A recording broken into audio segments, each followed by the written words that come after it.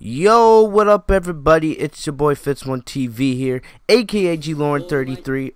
And as you guys can see, we got the official trailer for My Hero Academia Season 4. It released earlier this morning, like very early this morning. I did a reaction to the trailer. If you guys haven't seen it yet, that video is live on my channel. But in this video, we're going to be breaking down this trailer and for all my fans out there, especially the ones that know that I cover anime, expect a lot of My Hero Academia videos going forward as we get closer and closer to season 4. As we get more details, I'll be making a lot more My Hero Academia videos, alright? So, you know, I, I, I still have Dragon Ball number 1, but there's not too much Dragon Ball news going on right now because, you know, One Piece is very big and, you know, we got One Punch Man going on, but as we get closer to the fall, we're gonna get more Dragon Ball news and you know My Hero. So it's gonna be very very exciting. But we're focusing on My Hero right now. We got the season four trailer, and right now it is pretty hype. A lot of fans, and I don't read the My Hero manga. I've seen a couple chapters, but I've never reread it. I might, but we know that basically one of the big things that people are looking forward to we know that we're getting this new my hero academia movie somewhere near probably near the end of this year not early 2020 we're getting this um, the adaptation of the Shie Hassaikai arc. I don't know if I said that correctly, but I heard it's one of the most intense arcs in the My Hero Academia manga. So a lot of fans are very excited to see this manga come or yeah, see this manga art come to the anime. So I'm excited to see it because a lot of fans have told me that it's very exciting. But let's get through this trailer.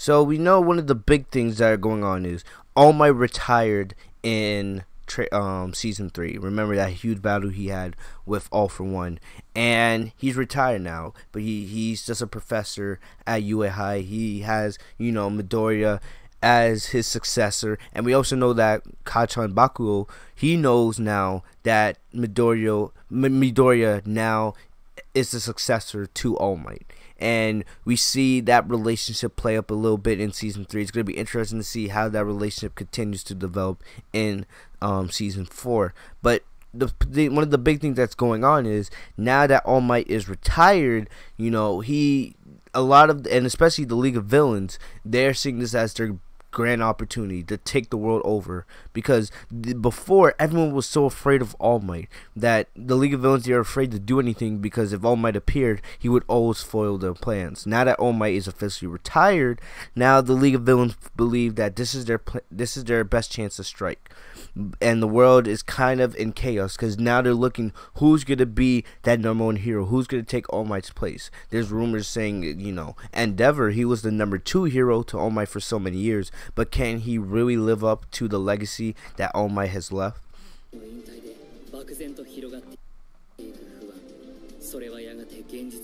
And you guys can see, you know, Japan's a mess right now. You know, more and more villains are appearing. And you, you kind of see this in One Punch Man's um, season 2. More and more villains are appearing because now these villains believe that this is their best chance to strike. All Might is no longer here, so, you know, let's strike while we have the chance and do as much, you know, danger as we can.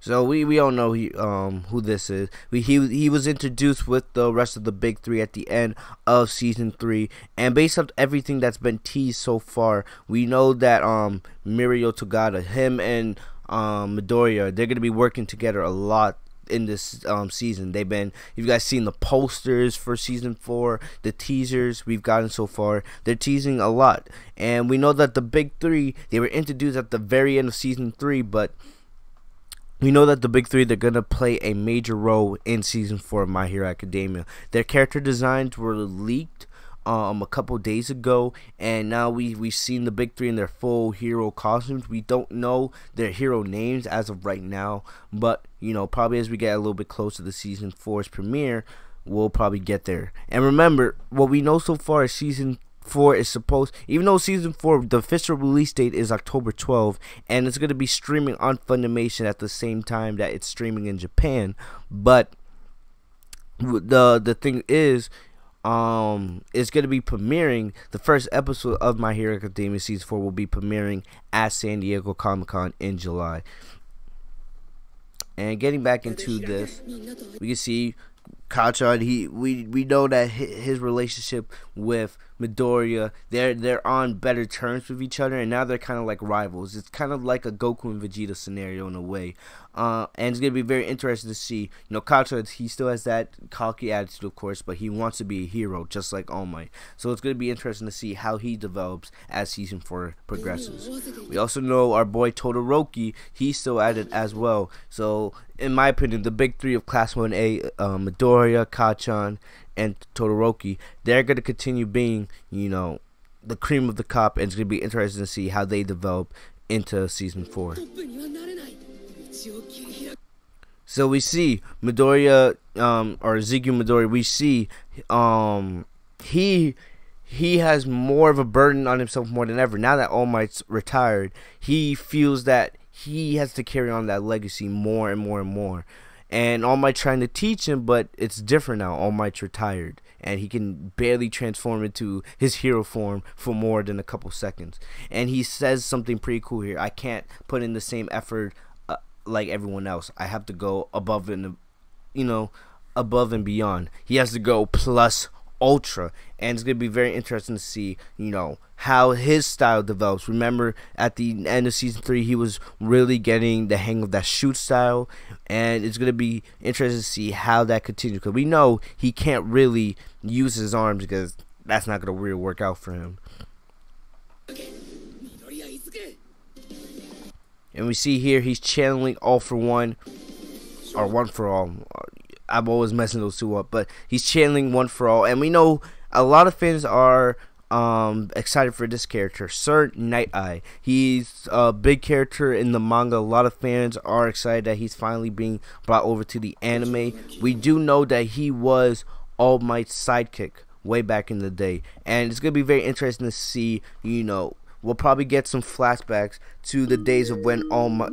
Of course, I'm getting calls when I'm recording. Um, but it's gonna be very interesting to see the flashbacks of All Might and Sir Night Eye, them working together back in the day, and see why did they fall, what happened, and now that All Might is gone, you know, I think it's gonna be cool to see Sir Night Eye probably give advice to Midoriya because we know something. Um, Sir Night Eye's quirk is he's able to see the future. So he maybe he'll give um, Midoriya some secrets of what his future is gonna be, and that's gonna help Midoriya on his path to becoming the number one hero.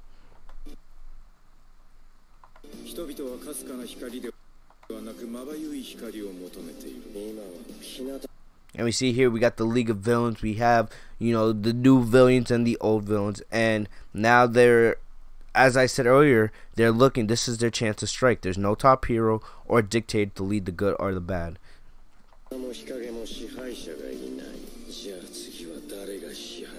And we know this is Overhaul, and we believe he's probably going to be the main baddie of season four that the heroes are going to go up against and we know he wants to take over Japan. He wants to take over society, and the way he plans to do it is through this little girl, which we'll see in just a sec.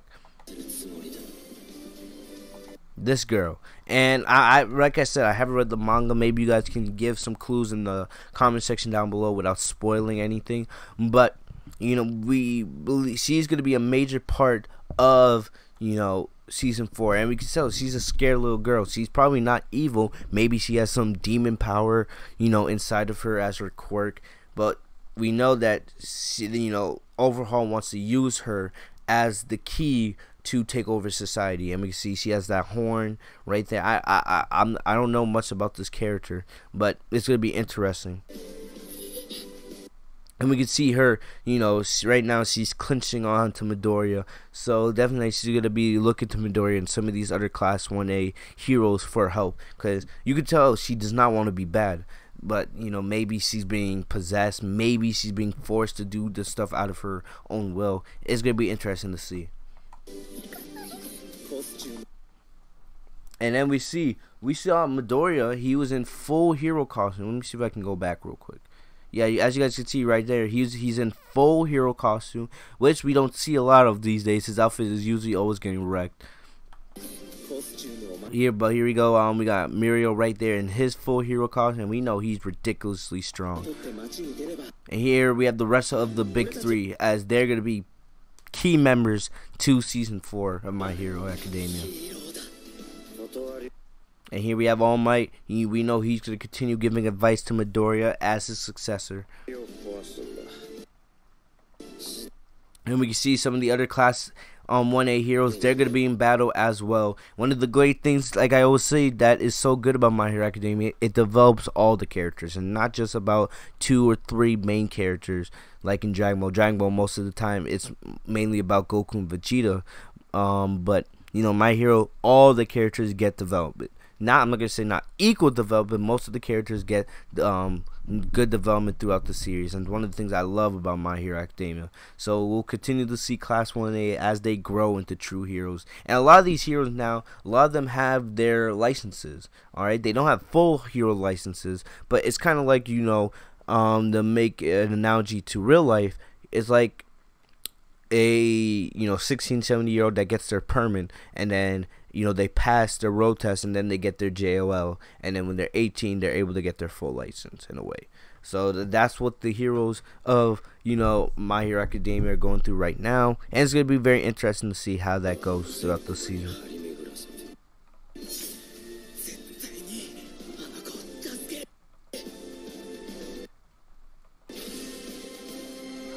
So there we have it.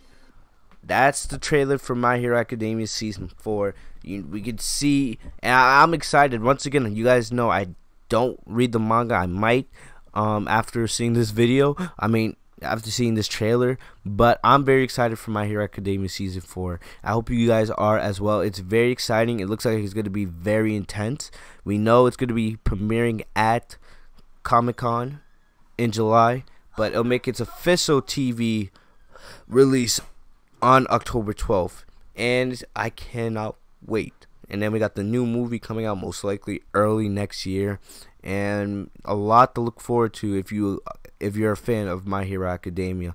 Only a couple months away. Other than that, that's about all I got for you guys today. Let me know in the comment section down below what you guys think of the new trailer for My Hero Academia Season 4. Let me know how excited you guys are for this season. What are you looking forward to most? Um, other than that, if there's any new news on season four, I will make sure to get that information to you guys via another video or social media. Um, make sure to like, comment, subscribe on this video. If you guys are new to the channel, enable notifications by clicking the bell right next to my name, Fitzmonk TV, so you guys are notified every time I post a new video. I'll see you guys later. Have a great day, guys. Peace.